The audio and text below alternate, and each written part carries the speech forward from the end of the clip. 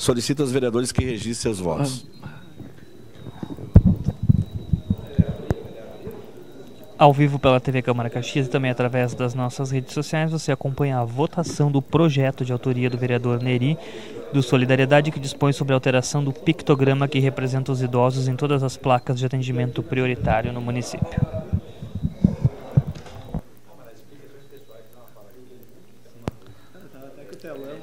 Encerrado o registro dos votos, vereadora Paula Iores vota favorável.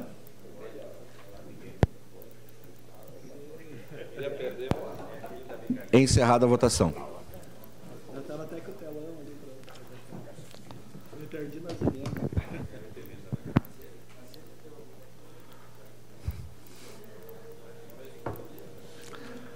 Projeto de lei número 37, barra 2017, aprovado por unanimidade, com ausência do vereador Rafael Bueno.